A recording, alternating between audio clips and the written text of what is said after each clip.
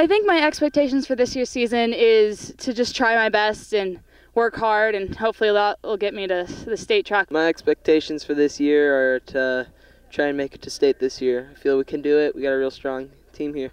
Uh, my expectations is to make it to state um, and break the record. I think this year we have a strong team. There's a lot of good freshmen that have come up, especially on the boys' side.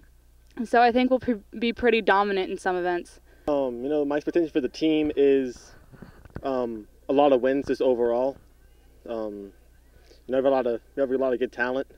I feel that this team can accomplish great things. I feel that we can we have a chance at being league champs and some other great things. But uh, need a little bit more time to figure out how this team works though.